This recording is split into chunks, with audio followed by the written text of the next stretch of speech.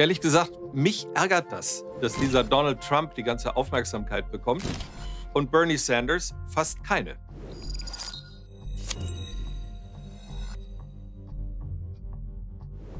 Dabei stellt dieser nette ältere Herr gerade Amerika auf den Kopf. Amerika, das war immer das Land, wo echte linke Politik als Neidhammelei galt.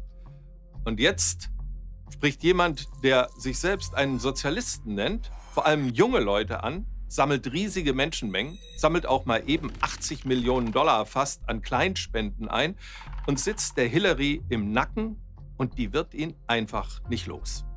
Da hat sich was fundamental verändert in Amerika. Der American Dream hat sich ausgeträumt. Die Mittelklasse ist abgerutscht und fühlt sich vom System beschissen. Vor allen Dingen junge Leute, die starten jetzt in vollkommen unsichere Jobs mit riesigen Schuldenlasten aus dem teuren Studium. Alle diese Leute wollen einen neuen Deal.